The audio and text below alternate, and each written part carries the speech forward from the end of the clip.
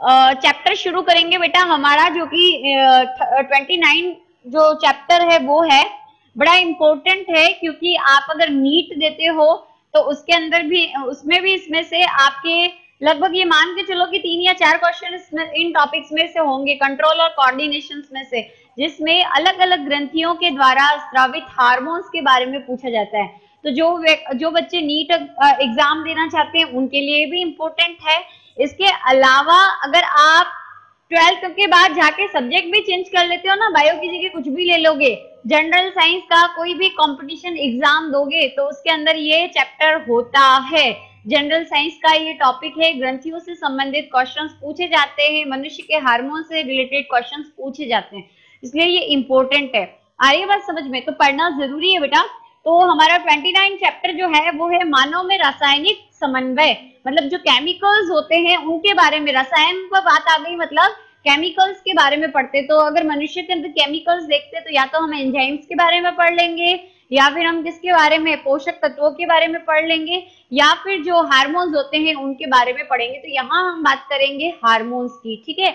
तो मानव में रासायनिक समन्वय के अंदर हम लोग, यानी जो हार्मोन्स होते हैं, वो कहाँ से स्त्रावित होते हैं कौन सी ग्रंथियाँ स्त्रावित करती है, कौन सा हार्मोन स्त्रावित करती है, और उस हार्मोन का काम क्या है?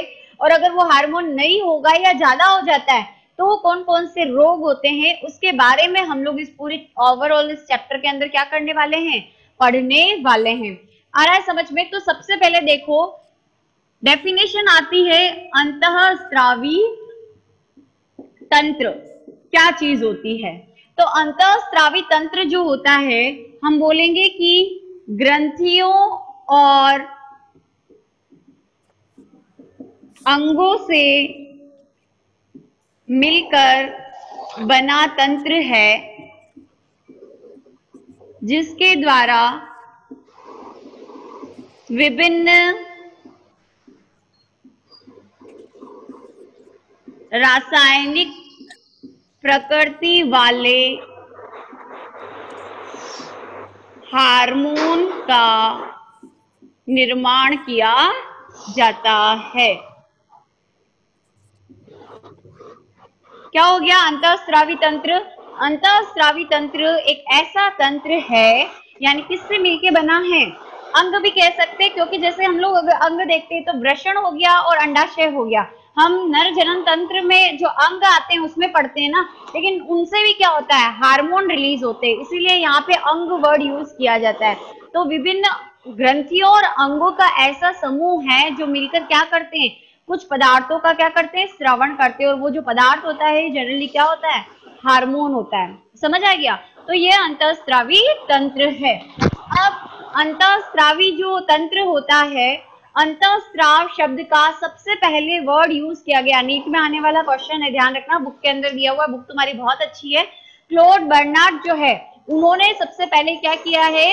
अंतस्त्राव शब्द का क्या किया? यूज़ किया।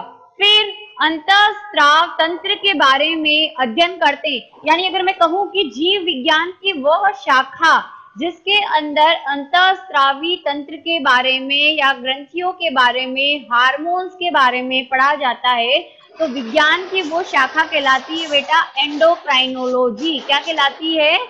एंडोक्राइनोलॉजी। आ रही बात समझ में?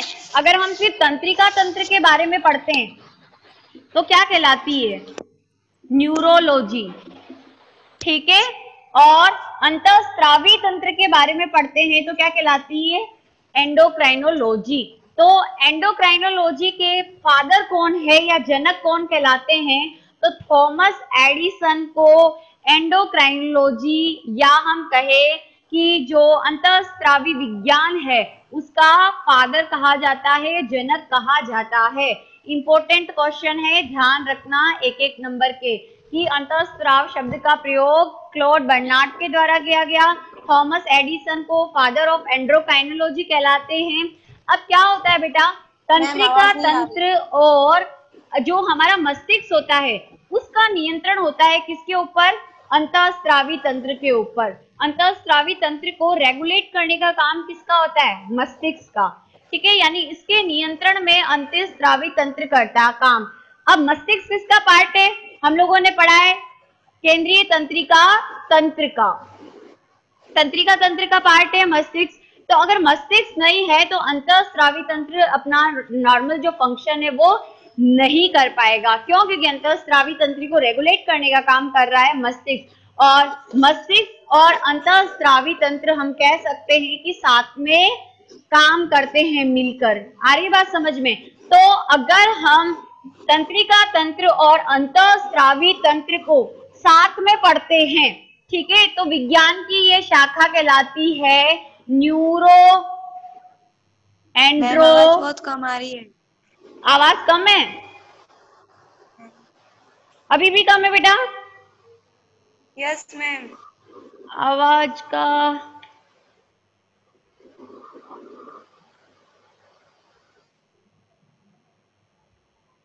फुल है बेटा नेटवर्क की वजह से कम होगी।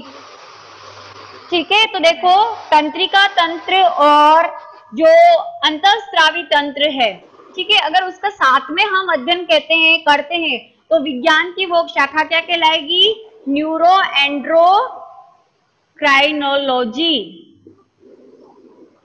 जब हम दोनों ही को, तंत्रिका तंत्र को और अंतस्रावी तंत्र को साथ में पढ़ते हैं।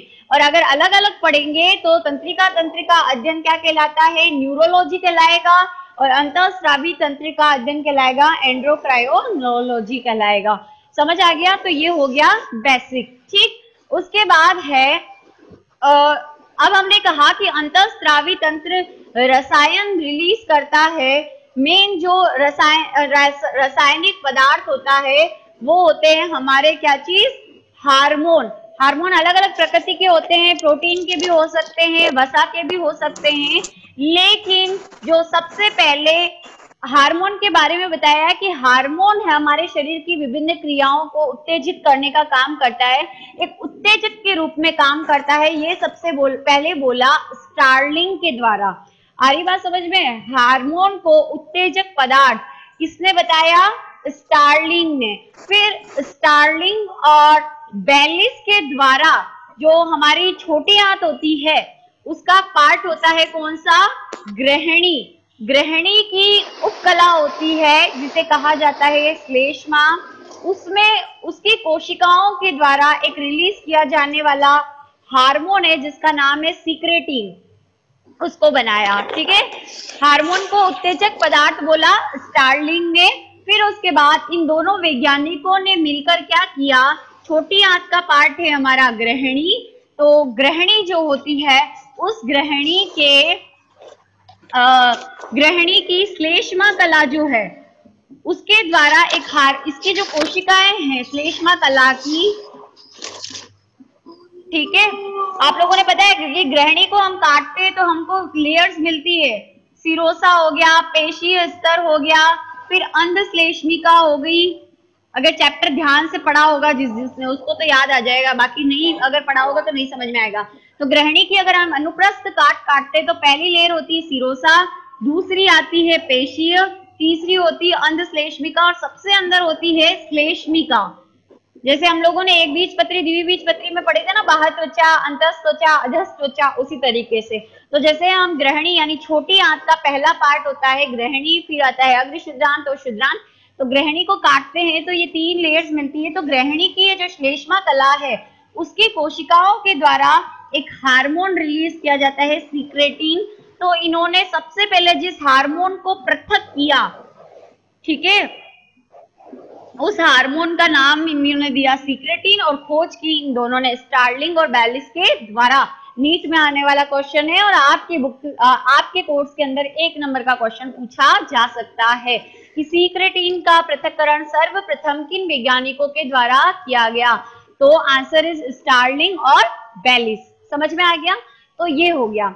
उसके बाद देखो बेटा नेक्स्ट आता है कि अंतस्रावी तंत्र जो है, उसके अंदर जो ग्रंथियाँ होती है, वो कितने प्रकार की होती है? ग्रंथियाँ जो है, वो तीन प्रकार की होती है। पहली होती है बहिस्त्रावी ठीक है क्वेश्चन यहाँ से आ सकता है। फिर आती है दूसरी अंतस्त्रावी और तीसरी होती है मिश्रित। ठीक है? टेंथ से पढ़ रहे हो। पहली बहिस्त्रावी दूसरी अंतस्त्रावी और तीसरी मिश्रित ग्रंथियाँ। क्वेश्चन क्या आएगा? सिंपल सा है अंतर पूछा जाता है। ठीक है अभी चार्ट आपको मैं बताऊँगी स्क्रीन पे देख लेना अंतर आ, कैसे लिखने है। जनरली इन दोनों में क्वेश्चन पूछा जाता है अंतस्त्रावी बहिस्त्रावी तो देखो आप देखोगे कि ये ग्रंथियाँ हैं ग्रंथियाँ होती क्या है बेटा? कोशिकाओं का समूह होता है जो विशेष पदार्थों का क्या करता है? श्रवण करता है तो कोशिकाओं का ये समूह जो है, वही क्या होती है? ग्रंथि होती है, ठीक है? अब ये ग्रंथियाँ जो है, वो तीन तरीके की है।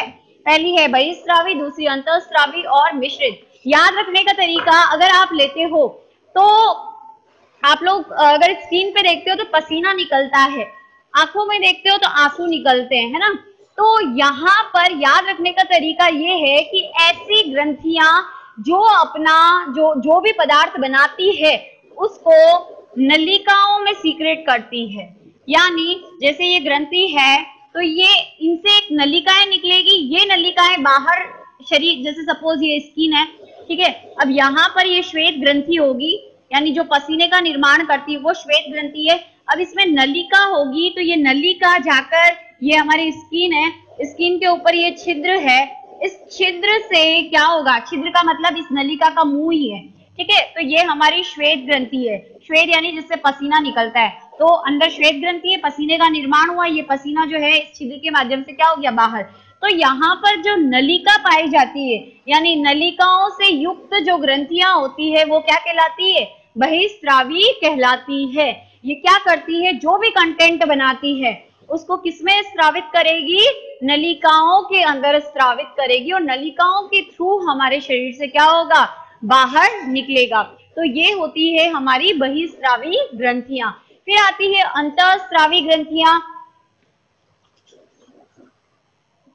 तो अंतस्त्रावी ग्रंथियाँ कैसी होती है? नलिका विहीन होती है। ठीक है? इनमें नलिकाएँ नहीं पाई जाती। ये अपना जो भी तरल, मान लो ये कोशिकाओं का समूह है, ग्रंथि है, ठीक है? तो ये जो भी तरल स्त्रावित करेगी, ये सीधा उसको किसमें डालेगी? रक्त के अंदर डालेगी। बहिस्त्रावी ग्रंथियों के द्वारा जनरली जो केमिकल बनाए जाते हैं, वो एंजाइमेटिक नेचर के होते हैं एंजाइम्स होते हैं। और अंत स्त्रावी के द्वारा जो किया जाते हैं, वो क्या है? हार्मोन अभी हम किसके बारे में पढ़ रहे हैं? अंतस्त्राव तंत्र। और प्रातः टाइम मैंने बोला कि यहाँ पे हम हार्मोन्स की बात करेंगे। तो अंतस्त्रावी ग्रंथियाँ किसको सीक्रेट करती है? हार्मोन को। और हार्मोन हमारे शरीर से नलियों से बाहर नहीं निकलते, हैं ना? हमारे हार्मोन क्या होते हैं? रक्त में मिक्स होते हैं। तो ये नली का विहीन होती है और जो भी कंटेंट होता है, उसको किसमें डाल देती है? रक्त में डायरेक्टली डालती है। तो ये जिन पदार्थों का श्रवण करती है, वो हार्मोन्स होते हैं और ये जो होते हैं, वो एंजाइम्स होते हैं। ठीक है? उसके बाद अगर एग्ज़ाम्पल लू बहिस्त्रावी का तो श्वेत ग्रंथि हो गई, है ना? दूसरी हो गई हमारी अश्रु ग्रंथि, जिससे आँखों से आँसू निकलते हैं श्वेत ग्रंथि में पसीना होता है। अंतस्त्रावी के तो बहुत सारे एग्जाम्पल्स हैं जो हम पढ़ने वाले जैसे कि पीयूष ग्रंथि हो गई हाइपोथैलेमस ग्रंथि हो गई है ना? आ, और भी हैं बहुत सारे थाइमस ग्रंथि थायराइड ग्रंथि पिट्यूटरी ग्लैंड ये सारी जो अंतस्त्रावी ग्रंथियों के एग्ज़ाम्पल है। फिर आता है मिश्रित मिश्रित यानी जो कॉम्बो है किसका? बहिस्त्रावी और अंतस्त्रावी। यानी दोनों ही काम करती है। अंतस्त्रावी की तरह भी काम करती है और बहिस्त्रावी की तरह काम करती। है एग्ज़ाम्पल है इसका अग्नाशय ग्रंथि। अग्नाशय ग्रंथि क्या करती है? पाचक एंजाइम जो होते हैं पाचक एंजाइम जो होते हैं, उनका भी निर्माण करती है अग्नाशय रस के द्वारा। इसके अलावा इसके द्वारा हार्मोन्स भी बनाए जाते हैं इंसुलिन जब हम इसकी डीप स्ट्रक्चर पढ़ेंगे तो हम समझ में समझ में आ जाएगा। इसके अलावा अगर हम ले वृषण और अंडाशय शुक्राणु और अंडाणु का निर्माण भी करते हैं प्लस हार्मोन भी बनाते हैं। नरों के अंदर जो है एंड्रोजन टेस्टेस्टेरोन हार्मोन बनता है और मादाओं के अंदर जो है प्रोजेस्ट्रोन हार्मोन बनता है ना? एस्ट्रोजन और प्रोजेस्ट्रॉन तो दोनों काम कर रही, इसलिए अग्नाशय हो गई, वृषण हो गया, उसके बाद अंडाशय हो गया। ये सब किसकी एग्ज़ाम्पल है? मिश्रित ग्रंथियों के। बेटा डिफरेंस समझ में आ गए क्या? है ना? ये क्वेश्चन आ सकता है ध्यान रखना। बहिस्त्रावी अंतस्त्रावी और मिश्रित ग्रंथि मैं आपको स्क्रीन पे कुछ शेयर करती हूँ देखो। एक चार्ट है ये मैं आपको भेज भी दूँगी। आई थिंक शो नहीं हो रहा है। चलो वैसे अंतर मेन जो है वो मैंने बता दिए हैं आपको। नहीं शो हो रहा है इसके अंदर। देना।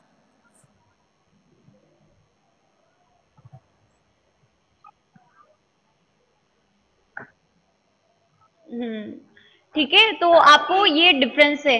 उसके बाद देखो, हम पहली ग्रंथि बेटा एक देख लेते हैं। पीयूष ग्रंथि हम नेक्स्ट क्लास में पढ़ेंगे क्योंकि हाइपोथैलेमस जो है, पहली हमारी अंतरस्रावी ग्रंथि है।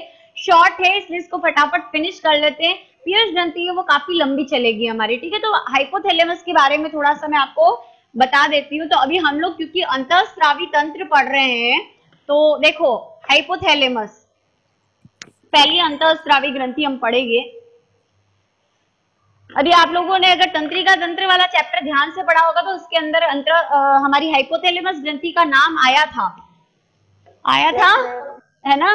तो देखो हाँ। अंतस्त्रावी जो ग्रंथियाँ होती है उसमें पहली ग्रंथि हम लोग आज देख रहे हैं हाइपोथैलेमस ठीक है? कहाँ होती है? ऑब्वियसली बात है मस्तिष्क में होती है। मस्तिष्क में भी देखो कहाँ होती है? तो मस्तिष्क के अंदर अगर हम बात करते हैं कि अग्र मस्तिष्क का पार्ट है और अग्र मस्तिष्क के तीन पार्ट होते हैं हम लोगों ने पढ़ा था। प्रमस्तिष्क जो सबसे बड़ा भाग होता है सेकंड होता है घ्राण और तीसरा होता है अग्र मस्तिष्क पश्च तो अग्र मस्तिष्क पश्च जो होता है है ना? उसकी जो गुहा होती है तीसरा नलय बोलते हैं। यानी अग्र मस्तिष्क पश्चिम में एक गुहा पाई जाती है इस तरीके से। है ना? ये ये गुहा है। ठीक है? मैंने डायग्राम जो बनाया है ना तो इस गुहा को या इस गुहा को बोला जाता है तृतीय निलय। तो इस तृतीय निलय का ये जो फर्श देख रहे हो ना आप ये नीचे वाला हिस्सा तो इस फर्श का क्या करती है? तृतीय निलय के फर्श का क्या करती है? फर्श का निर्माण करती है। वेरी गुड जो भी बोल रहा है। ठीक है? ध्यान से पढ़ रहे हो बेटा। ठीक है तो मस्तिष्क है अग्र मस्तिष्क का पार्ट है और अग्र मस्तिष्क पश्च जो तीसरा पार्ट है इस अग्र मस्तिष्क का उसके तृतीय निलय का फर्श का ये क्या करती है? निर्माण करती है।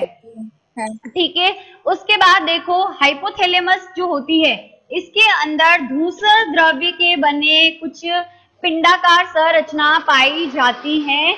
जिन्हें हाइपोथैलेमेटिक केंद्र कहा जाता है। इन केंद्रों के द्वारा विभिन्न जो है हार्मोन क्या किए जाते हैं बनाए जाते हैं। बुक के अंदर आपकी लाइन दी हुई है। अगर देखते हो तो है ना? कि धूसर द्रव्य के बने हुए केंद्र पाए जाते हैं जिन्हें हाइपोथैलेमेटिक केंद्र कहते हैं। इनके द्वारा हार्मोन रिलीज़ किए जाते हैं और हाइपोथैलेमस के द्वारा जो हार्मोन रिलीज़ किए जाते हैं वो दो तरीके के होते हैं। पहला होता है मोचक हार्मोन और दूसरा होता है निरोधी हार्मोन। ठीक है? ये हार्मोन्स होते हैं। अब हार्मोन्स जो होते हैं वो क्या करते हैं? आ, अगर मान लो मोचक हार्मोन है तो ये पीयूष ग्रंथि को क्या करेंगे? पीयूष ग्रंथि को अपने हार्मोन रिलीज़ करने के लिए कैपेबल बनाएँगे। मतलब मोचक हार्मोन जब रिलीज़ हो गए तो ये पीयूष ग्रंथि जो इससे जुड़ी हुई है, जैसे देखो, ये मैंने हाइपोथैलेमस बना रखी है यहाँ पर, ठीक? हाइपोथैलेमस एक धागे जैसी संरचना से यहाँ से जुड़ी हुई होती है। किससे? ये पीयूष ग्रंथि है तुम्हारी, ठीक है? इस पीयूष ग्रंथि से क्या होती है? जुड़ी रहती है। ये तंतु के समान संरचना कहलाती है। इन फंडी बूलम ठीक है? इसके अंदर शिरा और धमनिया होती है तो इसके माध्यम से इन शिराओं में उपस्थित जो रक्त होता है इसके माध्यम से जो हाइपोथैलेमस जितना भी एंजाइम हार्मोन बनाती है वो नीचे किसको मिलते हैं? इस जो हमारी पीयूष ग्रंथि होती है उसको मिलते हैं। और पीयूष की भी अग्रपाली जो है वो अधिकतर हार्मोन रिलीज़ करती है। समझ आ रहा है? तो यहाँ पर पीयूष ग्रंथि के द्वारा जो हार्मोन होते हैं उनको रिलीज़ करने के लिए ये प्रेरित करती है। मतलब रिलीज़ को होने के लिए बढ़ाती है। फिर निरोधी, निरोध करना मतलब रोकना। अगर पीयूष ग्रंथि जो भी हार्मोन बनाती है, जैसे कि वृद्धि हार्मोन पीयूष ग्रंथि का अग्रपाली क्या कर रही है, बना रही है है ना? तो वृद्धि हार्मोन जो है, वो तब रिलीज़ होगा जब क्या आएगा? वृद्धि मोचक हार्मोन किसके द्वारा रिलीज़ किया जाएगा? पीयूष ग्रंथि के द्वारा स्त्रावित किया जाएगा। लेकिन अब क्या है, एक एज आ गई, हमारे को वृद्धि रोकनी है हमारे शरीर की। तो क्या किया जाएगा, ये निरोधी हार्मोन रिलीज़ होगा और वृद्धि, निरोधी हार्मोन इसे हम कहेंगे, ये पीयूष ग्रंथि के द्वारा स्त्रावित वृद्धि हार्मोन के स्त्रवण को क्या कर देगा? रोक देगा।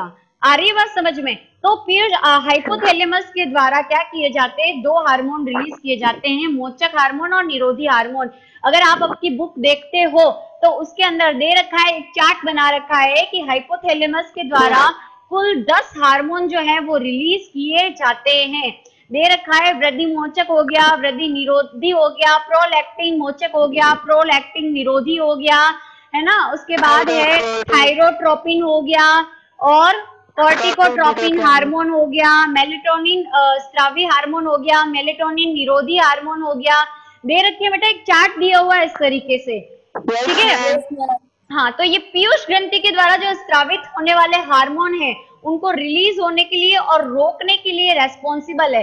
बट एक पॉइंट और है शायद आई थिंक आपके बुक में नहीं दिया हुआ कि हाइपोथैलेमस जो है ना बेटा उसकी आ, देखो इसको मैं फिर से बना देती हूँ। ये इनफंडिबुलम हो गया ये यहाँ पर हाइपोथैलेमस हो गई। अब ये पीयूष ग्रंथि की दो पालियाँ हैं और देखो।